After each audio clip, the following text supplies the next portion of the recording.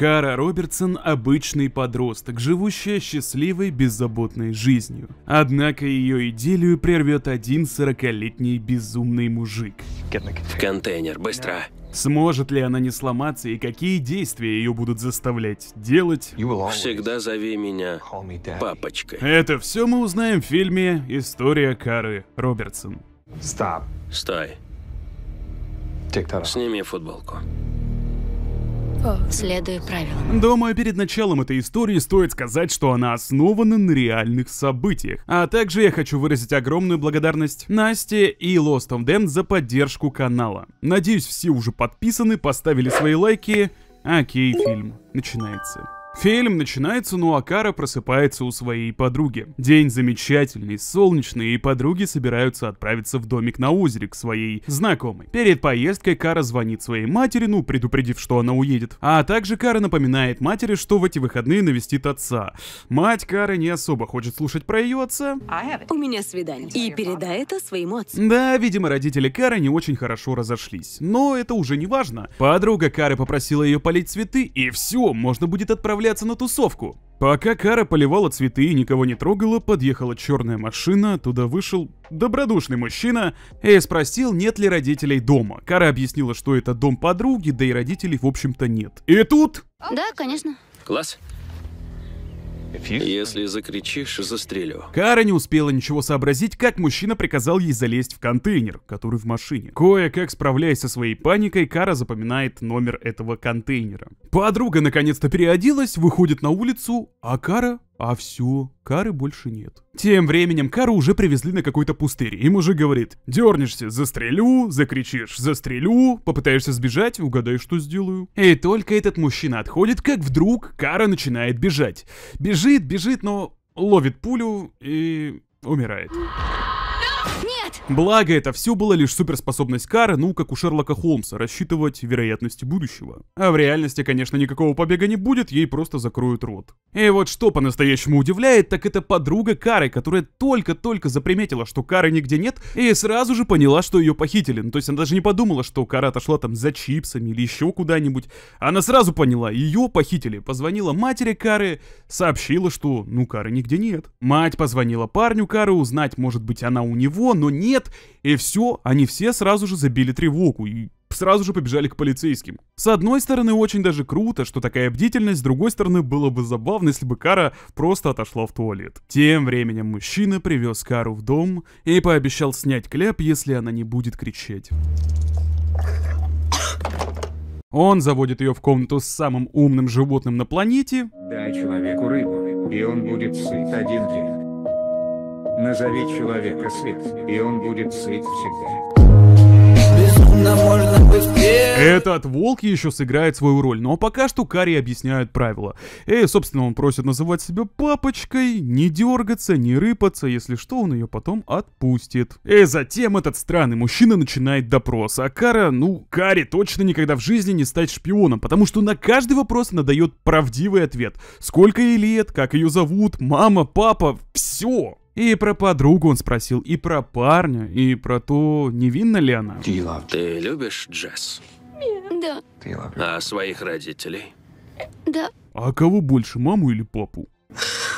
В общем, после этого мини-допроса он приказывает ей лечь на кровати, и кто понял, тот понял, чем все закончилось. После всего произошедшего, Кара идет в душ и начинает замечать всякие мелкие детали и запоминать их. Например, что мужчина живет с какой-то дамой. Ну а мать Кары звонит ее отцу, и когда убеждается, что Кара не с ним, рассказывает, что ее похитили. Затем вместе с подругой дочери они обращаются к полицейскому, и тот такой, а, а может она просто сбежала? Какой сбежала, говорит мать Кары, ведь она примерная девочка и никогда бы так не поступила. Ну и после определенно неприятного experience а Кара сидит и думает, что нужно узнать как можно больше информации об этом мужике.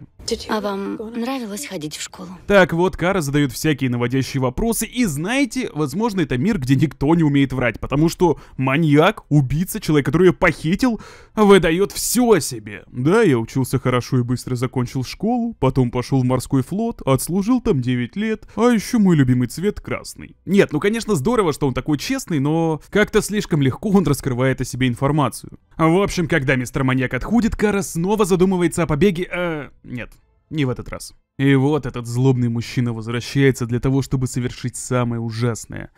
Он просит покурить вместе с ним травы. Но выбора особо не было, поэтому Кара соглашается. Сладко дунув, Кара понимает, что нужно продолжать вытаскивать информацию из этого мужика и замечает, что у него много животных. У меня скучная работа, работа с компрессорами. Но вам нравится? Да, мне нравится. Класс. Не так, как флот, зато путешествую. А где вам нравится? Я вновь поражаюсь честности и открытости этого мужчины, но Акара запоминает. Затем мистер Маньяк говорит, что я тебя отпущу, ты не волнуйся, но если ты пойдешь в полицию, ты навсегда останешься изнасилованной девушкой. Что он имел в виду? Ну, я не знаю. Затем он сажает Кару перед телевизором, включает кассету и заставляет ее смотреть. И ты скажешь, что думаешь.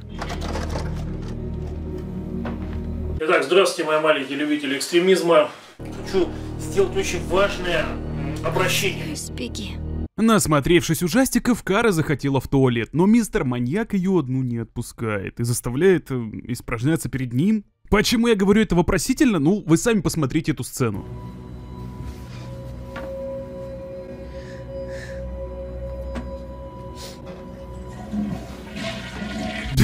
Она типа подошла к туалету, смыла его и все. Затем Кара понимает, что нужно втираться в доверие к маньяку и говорит, ну, давай я что-нибудь сделаю. И он такой, ну ладно, иди, помой полы. И пока Кара мыла полы, она все высматривала какие-нибудь улики, какие-нибудь зацепки. В общем, так и не домыв полы, мистер маньяк заставляет Кару снять ее футболку. Да. Тем временем мать приходит в полицейский участок, заявляет о пропаже дочери, но мистер полицейский такой...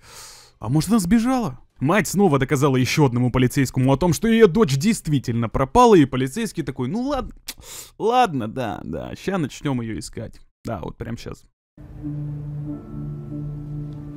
Эти полицейские явно не зря отрабатывают свою зарплату. Ну а мистер убийца вместе с Карой решает посмотреть новости и говорит, ну чё, ну чё, глянем, разыскивают ли тебя. Он включает телевизор и...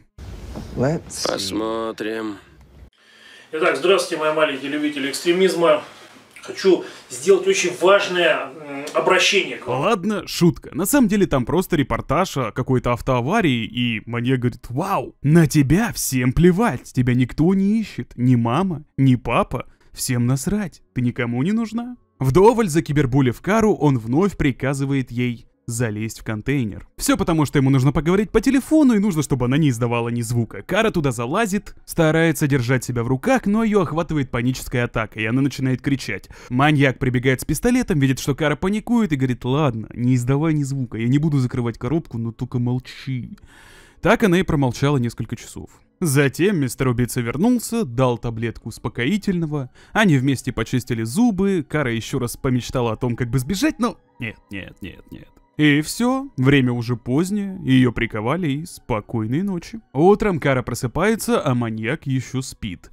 И она, не теряя времени, начинает снимать с себя оковы. У нее это получается, и она очень тихо выходит из комнаты. Подходит к двери и начинает открывать все замки, и, признаюсь честно, момент довольно-таки напряженный. Run. Втопив не хуже, чем Усейн Болт, она все-таки сбегает и выбегает на дорогу. Останавливаются двое мужчин, она объясняет им всю ситуацию и просит, чтобы они ее забрали. Отвезите меня в полицию, пожалуйста. В общем, она запрыгивает в машину к этим парням, благо они не маньяки.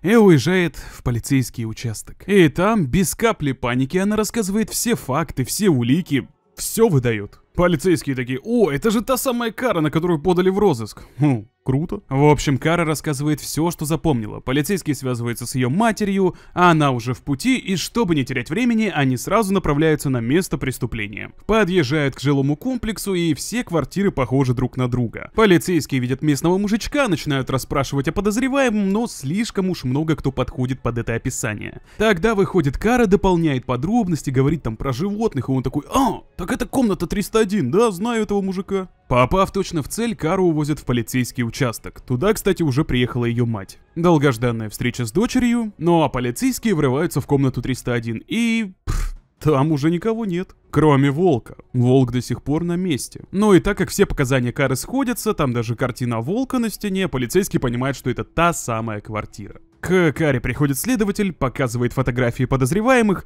и она сразу же вычисляет того самого. Плюс накидывает еще информации, например, про то, что у него есть сундук, который он пытался спрятать от Кары. Этот сундук находят, вскрывают, и там оказываются вещи Кары. А еще вырезки из газет про похищение девушек. Пропала местная девушка. Но да, это его прошлые жертвы. В общем, почему я его весь фильм называл маньяком? Потому что он убивал их. И Кару он, скорее всего, бы убил, если бы она не сбежала. Так вот, этого маньяка зовут Ричард, и пока его ищут, Кара проходит обследование у гинеколога. Не теряя времени, все расклеивают объявления с поиском этого мужчины, но полицейские узнали, что он похищал своих жертв буквально возле их дома, держал несколько дней в заперти, а потом топил и сбрасывал в болото. А также они узнали, что у этого чувака дофигища родственников. Мать и жена были в Диснейленде, а еще у него есть сестра, и, короче, всех их уже обзвонили. Но Акара наконец-то может отправиться домой. По пути до дома она не особо хочет разговаривать с матерью, а дома ее ждут куча офицеров, потому что теперь она под наблюдением, вдруг маньяк приедет, чтобы закончить то, что начал. Каре это не нравится, но уж извините, таковы правила. Наступает новый день, и Кара говорит матери, что хочет отправиться к своему парню. Мать, конечно же, ей запрещает и говорит, ты что, с ума сошла, ты такое пережила. Однако Кара не хочет, чтобы к ней относились как к жертве, она хочет продолжать жить нормальной жизнью. В общем, их спор прерывает подруга, которая пришла, и Кара вместе с ней идет наверх. Они закрываются в комнате, и Кара такая, ну давай, Давай спрашивай, что. Ну я знаю, ты хочешь узнать все подробности. Давай, давай. Как будто бы она побывала в путешествии. Давай, спрашивай, спрашивай. Подруга все-таки спрашивает, и Кара ей все рассказывает. Тем временем жена Ричарда на допросе говорит, да нет, мой муж идеален, он все было хорошо, я не знаю. В общем, мать и жена ничего не знают, а вот сестра... Марк связался со мной вчера вечером. В общем, сестра выдает его с потрохами, говорит, в каком отеле он остановился, и туда отправляются полицейские. Ну а Каре подходит тот самый полицейский, который больше всех ее искал, и говорит, что Кара жертва, и ей лучше не выходить из дома, но Кара себя такой считать не хочет, и поэтому говорит, слушай, лучше бы ты меня получше искал. В отеле полиция находит лишь улики. Ну да, сбежал. В общем, полицейский считает, что кто-то из семьи его предупредил, но главный полицейский рад, что он занят побегом, а не охотой за Карой. Затем мистер главный полицейский приезжает к Каре, она говорит, ну чё, опять мне скажете сидеть дома? Однако нет. Вместе с полицейским они рассуждают, убил бы он ее или нет, и в конце концов он называет ее выжившей, а не жертвой. Тут полицейские отследили, что недавно Ричард делал звонок, и, как оказывается, еще одной своей сестре, до нее дозваниваются, и она сразу же выдает им своего брата, говорит, что мы должны встретиться возле кафешки, приезжайте в 6 часов. Им даже напрягаться не пришлось, она просто взяла и все рассказала. Ну, в этом мире точно не умеет никто врать. Ну а Кара собирается на игру своего парня. Мать, конечно, запрещает ей, но Кара не хочет быть жертвой. Она хочет продолжать жить и радоваться этой жизни, поэтому отправляется на игру. Ну а притаившиеся полицейские наконец-то видят Ричарда. Run. Для человека с избыточным весом он довольно быстро бегает. Но Акара приходит на игру, видится с парнем, говорит, что будет болеть за него, попускает девчонок, которые рассказывали всякие слухи про нее. Эй! Завали ебало! Ну а Ричард все бежит и бежит, однако его ловят. Че убегал? А? Че убегал? А че ты гоняли? Да, Ричард решил не дожидаться суда, а сам вынес себе приговор. И вот новое утро, Кара просыпается, подходит к матери и та говорит, что, ну, ну, Ричард как бы все. Почему мне не сказали? Кара злится, психует на мать и выбегает из дома. Но как раз туда приходит главный полицейский. Он присаживается к Каре, и она объясняет ему, что хотела увидеть его за решеткой, хотела увидеть его в суде, посмотреть ему в глаза и при всех сказать ему. Ты заставлял меня сосать, но я тебе не сосала. Но теперь, видимо, этому не суждено случиться. В конце концов, коп говорит, что Ричард сделал самую большую ошибку, похитив Кару, ну и вообще Кара — герой. Ну а Кара рассуждает, что мужской половине ее семьи лучше не знать, что он делал, и пускай это останется тайной. Кстати, вот как Кара выглядела в реальной жизни. Потом она стала адвокатом, и все у нее было хорошо. Собственно, в конце она подходит к матери, извиняется, говорит ей, что жизнь продолжается и нельзя на этом зацикливаться. Ну, собственно, и все. Ах, ну я даже не знаю, что сказать по поводу этого фильма. Он слишком пресный какой-то, слишком обычный. Просто я посмотрел уже про похищение фильмов 5, ну, пересказал их даже. И все они были куда интереснее. Либо жестче, либо с какими-то интересными поворотами. Ну а тут Тут даже от начала до конца фильма прошло три дня. То есть в первый день ее похитили, во второй день она сбежала, в третий день нашли убийцу, и он застрелился. Пфф. Окей. Забавный факт. Главная актриса снималась еще в «Похищении Лизы Маквей». Практически точно такой же фильм про похищение, только там девушки не поверили, что ее похитили. Если что, пересказ есть на канале. Я сделаю конечную заставку, можете потом глянуть. В общем, и там было гораздо интереснее, потому что ей не верили. Ну, а за актрису это вообще прикол, потому что в двух практически одинаковых фильмах сняться, ну, забавно. В общем, не знаю, не знаю, какой-то такой вялый фильм. Вторая половина это просто ходьба, и причем нету даже какого-то детектива, что вот они идут по следам, они сейчас его найдут. Да нет, просто его взяли, выдали, его быстро нашли. В конце он за Роскомнадзорился, вот и все. В общем, не знаю, как там реальная история, она по-любому была интересней. Но фильм обычный. Если вы видели хоть какие-то фильмы про похищение, то здесь вы ничего нового не найдете. Ну что, друзья, надеюсь, вы не забудете поставить лайк, написать свой комментарий, я их все читаю, а также подписаться на канал, если вдруг впервые здесь. Но главное, не забывайте. Всех обнял.